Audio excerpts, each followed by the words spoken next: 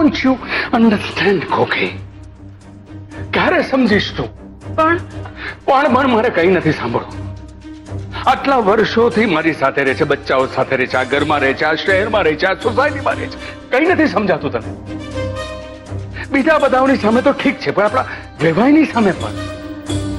મેં એમ કહ્યું કે they will go for official date ને તું? બસ તારો જ ગોગો કુટ્યા કરે. નહીં નહીં મારે આરવને આજે ઓફિસે નહીં મોકલશું. કેવું લાગે લોકોની વચ્ચે આપણું? અરે લોકોની વચ્ચે કેવી રીતે વર્તન કરવું એ તો ક્યારે શીખીશ કોકી?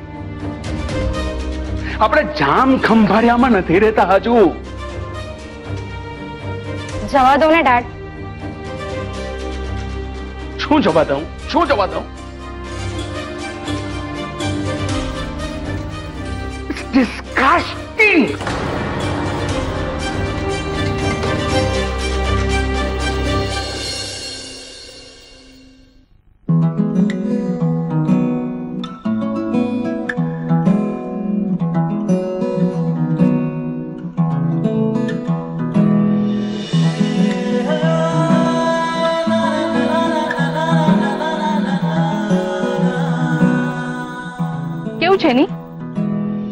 સંબંધ માત્ર વ્યક્તિ જોડે જ નહીં જગ્યા જોડે પણ બંધાઈ જાય છે. એક્સક્યુઝ મી હું કઈ સમજુ નહીં. જો ને પહેલા જ્યારે આપણે અહીંયા આવ્યા હતા ત્યારે કેવી ભાવના હતી? એક નવી અજાણી વ્યક્તિને મળીએ એવી. અને આજે? આજે સંબંધ બંધાયા પછી જાણે એવું લાગે છે આ જગ્યા આપણા માટે જ છે. નહીં હા. પણ ઘણીવાર એવું લાગે કે વર્ષો વીત્યા પછી પણ કોઈ વ્યક્તિ કોઈ જગ્યા એ આપણી ના પણ બને. ના. પણ કેમ એવું પૂછો છો? બસ એમ જ. યુ નો ત્રણ વર્ષ લંડનમાં ભણ્યા પછી પણ મને લંડન ક્યારે આપણું ના લાગ્યું. મેં લંડન ટીવી અને ફિલ્મોમાં જ જોયું છે. કેવું છે લંડન? ટાવર ઓફ લંડન વિશે પણ બહુ સાંભળ્યું છે. નથિંગ ગ્રેટ ઇન્ડિયા કરતા ડિસિપ્લિન વધારે છે નીટ એન્ડ ક્લીન છે. પણ યુ લંડન મને છે ને બહુ ગ્લુમી લાગે. ઉદાસ. ભીડમાં ઉભેલા એકલા વ્યક્તિનું શહેર એટલે લંડન પણ લંડનમાં ફ્રેન્ડ્સ તો હશે ને? હા થોડા ઘણા. મને તરસ લાગી છે. તમારે પાણી પીશો કે કોલ્ડ ડ્રિંક્સ નો થેન્ક્સ પાણી ચાલશે. ઓકે હું લઈને આવું.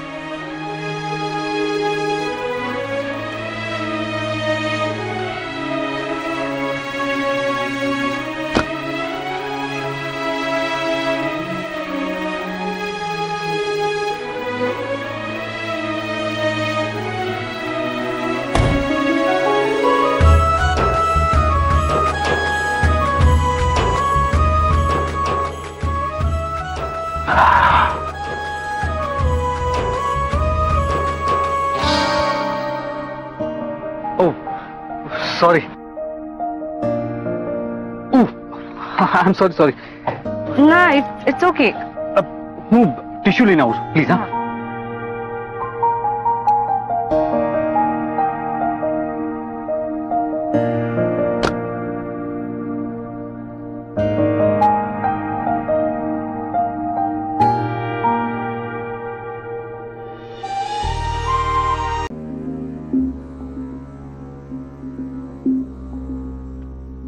ચલો બેટા મંદિરે જલ્દી મોડું થઈ ગયું છે.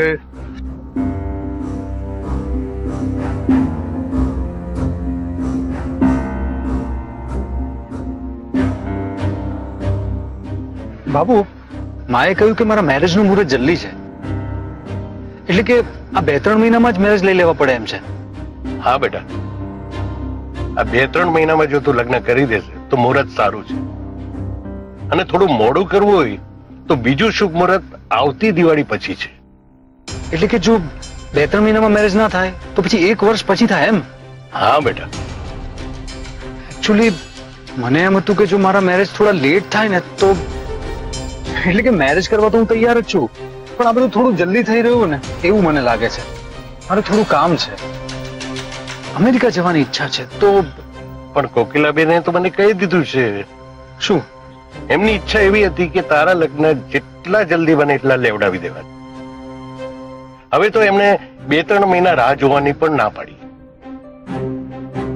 અને દીકરા, મેં તો તારા લગ્નનું મુહૂર્ત પણ કાઢી દીધું છે. બાર દિવસ પછી તારા લગ્ન છે.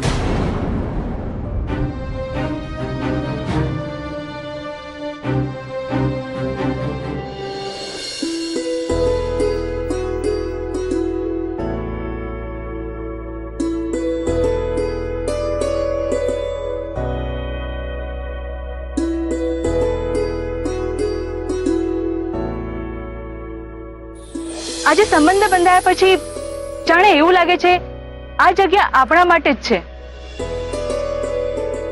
નહીં? હા. પણ ઘણીવાર એવું લાગે કે વર્ષો વીત્યા પછી પણ કોઈ વ્યક્તિ કોઈ જગ્યા એ આપણી ના પણ બને. નાનપણથી સમયને સરકતો જોઉં છું. પણ સમય મને થોડું સુખ આપવા પણ રોકાયો નથી. કદાચ આરો સાથે પણ એવું તો નહીં થાય ને? નાનપણમાં માતા પિતા લઈ લીધા. સતત ભાઈ ભાભીની તકલીફો જોઈ. ઈચ્છાઓને મારી છે. હવે સપનાને પણ આ સમય મારશે?